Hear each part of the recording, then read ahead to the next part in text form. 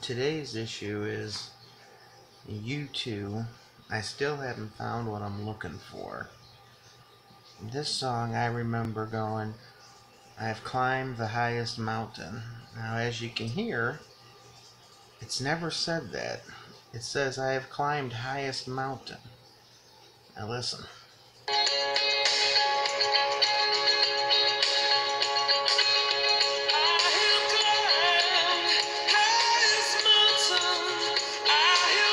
I have climbed highest mountain, but the problem is Bono is singing it live the way a lot of us remember it.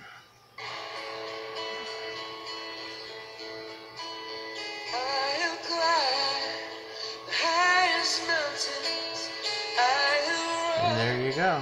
So Bono has the Mandela effect with his own song.